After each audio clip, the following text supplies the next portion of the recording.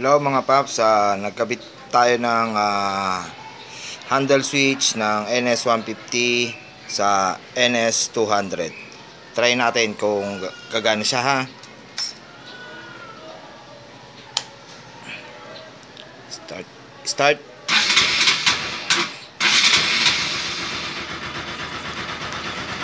Switch natin yung park light.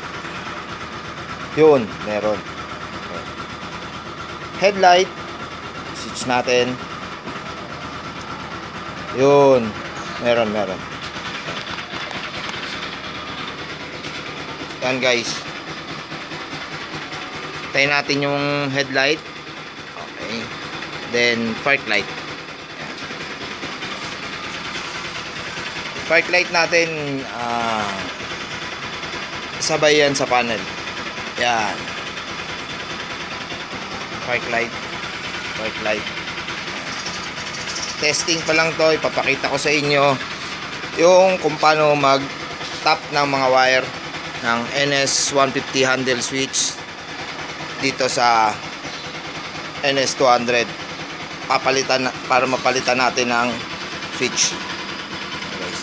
Sa next video ko ay ipapakita ko sa inyo. Salamat